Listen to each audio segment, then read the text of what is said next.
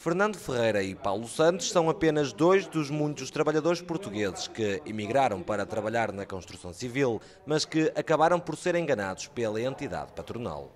Eu estive na Alemanha por uma firma de Barcelos que é a Solana e ficou-me a dever 3 mil euros, ou seja, 600 contos quando era o escudo. Era um empreiteiro espanhol, ficou-nos a dever a mim, a mim portanto, íamos, cada um era 2 mil euros. É com o intuito de colocar um ponto final a casos como estes que foi lançada uma nova campanha em Portugal. A apresentação decorreu no Marco de Canaveses. Um dos conselhos é que existe uma maior mobilidade da população para o estrangeiro no setor da construção civil. O que a campanha pretende é, sobretudo, eh, lançar alertas Antes de saírem, as pessoas devem ter contratos de trabalho.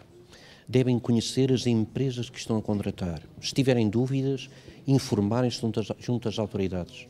Devem procurar ter informações sobre o destino. Para aquilo que deve ser uma imigração feita com segurança e, e que, que procurem encontrar noutros países uh, um trabalho digno, um trabalho capaz. Na cerimónia de lançamento desta campanha, o Sindicato da Construção Civil apresentou mesmo propostas para os trabalhadores que queiram emigrar com segurança. Há uma empresa do Canadá que quer contratar trabalhadores da construção eh, para o Canadá com contratos estáveis. O que é que são contratos estáveis?